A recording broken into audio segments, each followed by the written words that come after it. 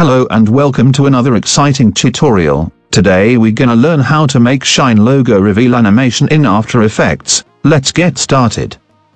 First duplicate your logo. Then go to your Effects and Presets panel and search for the effect, CC Light Sweep.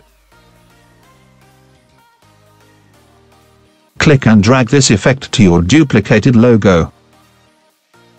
As you can see now we have that shine on our logo.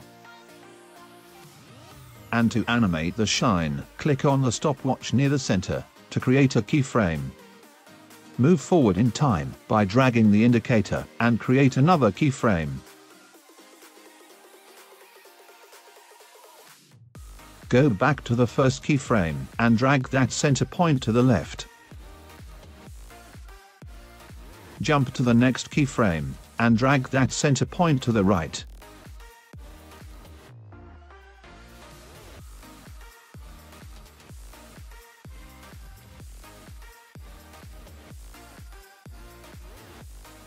Change the light reception to cutout so you only have the shine displayed.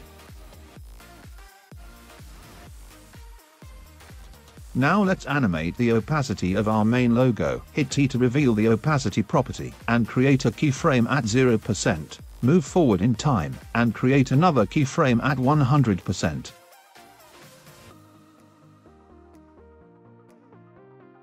Now duplicate the logo with the shine only and move the keyframes forward.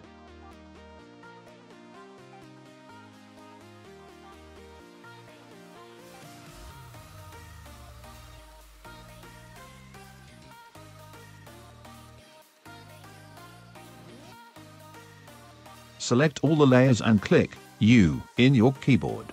Then select all the keyframes, right click and go to the keyframe assistant, then click Easy Ease.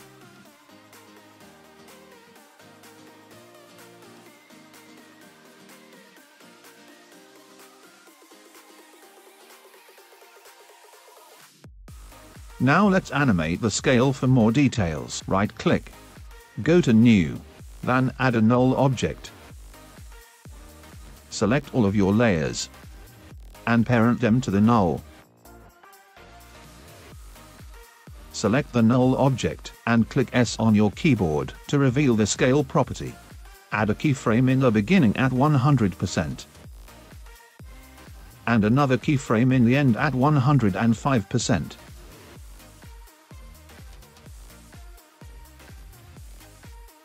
Please subscribe to the channel and hit that bell. And don't forget to turn on the notification on. Also like this video if you liked it and for more comment below any ideas or suggestions, and I will see you in the next video. Peace.